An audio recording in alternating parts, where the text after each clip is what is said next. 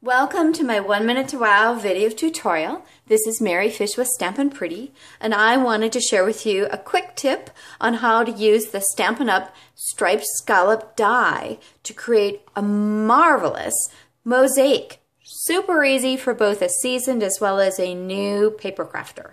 So this particular card I created um, using brushed gold, basic gray, Lost Lagoon, and then I layered Very Vanilla over a Very Vanilla card base so that the scallops look much more like a uh, embossed pattern. Very cool, very classy and sophisticated.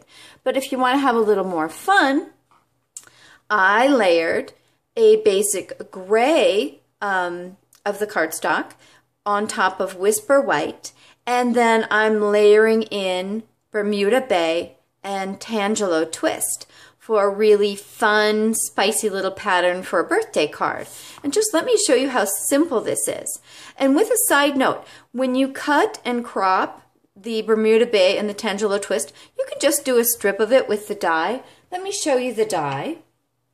The die looks like this, and my best tip is to start with the magnetic platform, then the acrylic plate, then I have my cardstock, okay, below.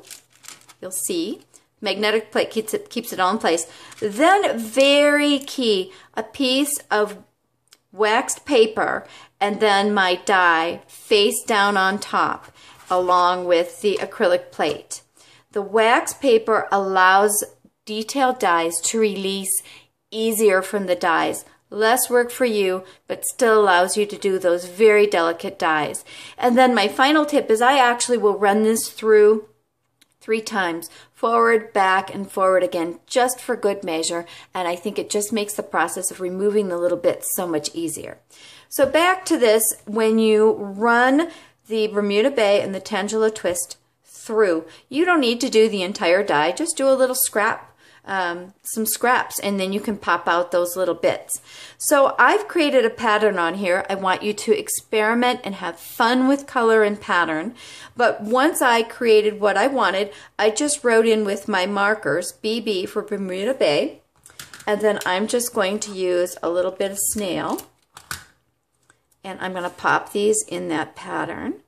So again, you can experiment with the patterns course, they fit right in. It's just super fun. I've had so much fun using these. I was just going to make the first card, and then I'm like, you know, I need a birthday card for my nephew.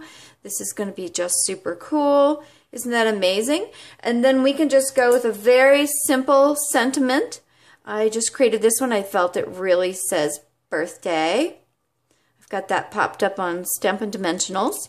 I love how these little gray candy dots look like uh, confetti to me. Very fun and festive.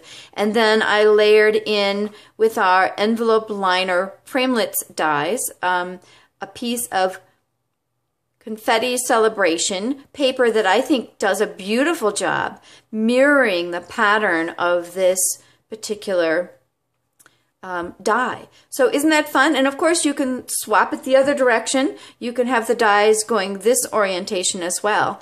You could even layer this, of course, below the sentiment. You could layer this below for a really cool hip pattern. So thank you for joining me for my one minute to wow video tutorial. Bye bye.